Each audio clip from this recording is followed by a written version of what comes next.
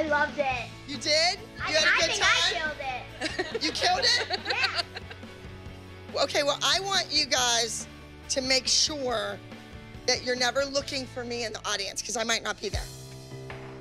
You think since like I'm your guest, like do you like feel bad like that you didn't like get to see my solo?